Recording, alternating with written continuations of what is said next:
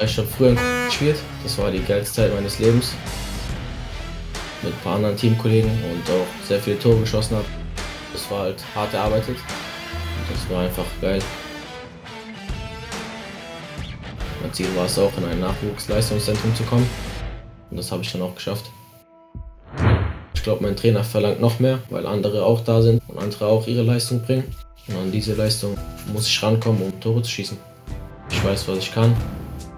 Ich weiß, dass ich auch Tore schießen kann. Das gibt immer Kraft.